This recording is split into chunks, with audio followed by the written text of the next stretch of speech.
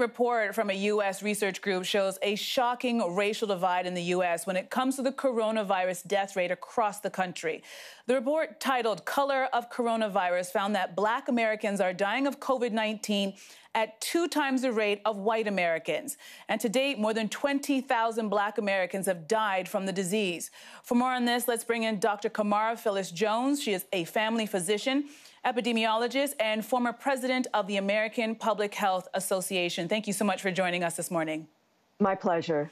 All right, so let's talk about this disparity and why it exists. What is the main reason why there's such a huge divide in the number of black people who are dying from coronavirus as opposed to the white people who are affected by it? The root cause is racism, US racism, which is a system that structures opportunity and assigns value based on race. And the way that racism is playing out in COVID 19 is that Black folks are more likely to be infected because we're more exposed in frontline jobs and the like and less protected.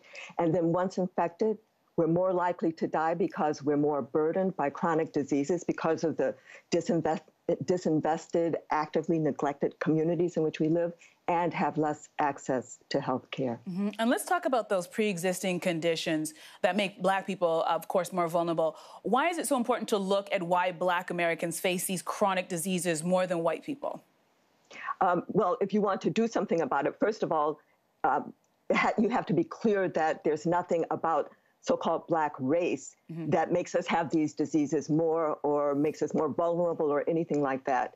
So um, once you understand that race is not a risk factor, but that actually racism is, then you need to look at the mechanisms so that you can intervene. Mm-hmm. Um, if you do not do that, I would say that one of the most uh, important aspects of structural racism is that it doesn't require an identifiable perpetrator, mm-hmm. and very often it shows up as lack of action, inaction in the face of need. Mm-hmm. So we need to dig deep into the structural conditions, the, the residential. Uh, segregation by race, leading to educational segregation by race, to job segregation, the environmental hazards, lack of green space, all of those things, if we want to change these conditions. Mm-hmm. And that data is so important to have. Um, how the main question when people hear this type of information is, how do we change things? How do we change the healthcare system? Where do we start with making that change so this no longer happens? Because once you have the information, there should be change and things should get better. What do we do? So what we do is, first of all, um, you said change the healthcare system. It has to go beyond the healthcare system because health is not created within the healthcare system. So that's mm-hmm. where we have to first be clear mm-hmm. that we have to invest in communities. We need to put uh, massive, we need to provide resources according to need. We need to value all individuals and populations equally. We need to recognize and rectify historical injustices. So, my anti racism policy agenda would include reparations to descendants of Africans enslaved in the US. Mm-hmm abolition of prisons or decarceration, and massive investment in our communities with a particular massive investment around family so that the phrase disadvantaged child had no meaning, that no child was born into disadvantage or, would find themselves in disadvantage. This requires new people at decision making tables. That's the first step, mm-hmm. that we have to involve affected communities. Um, in all kinds of decision making tables because they are the ones who have the knowledge and have been working for decades, centuries to solve these problems, we need to expand the space at decision making tables so that we can bring that knowledge if we really want to make things better. Mm-hmm.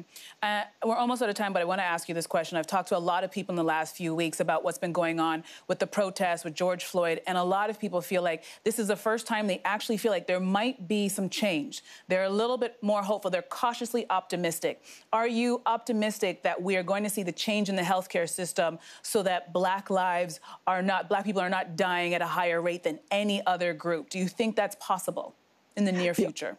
So I am optimistic as long as we do not let our nation fall back into what I describe as the somnolence of racism denial.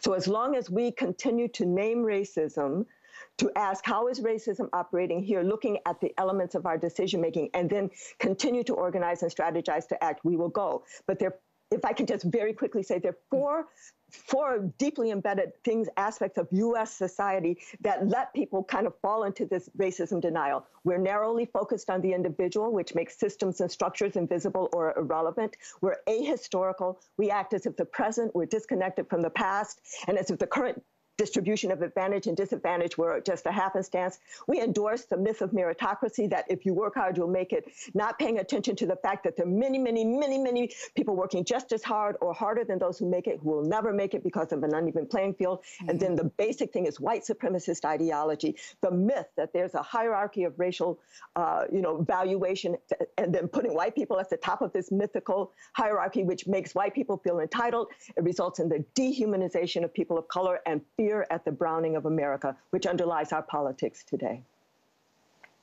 Great points. Thank you so much for your insight. Once again, that is Camara Phyllis Jones, family physician, epidemiologist, and former president of the American Public Health Association. Thank you so much for your time.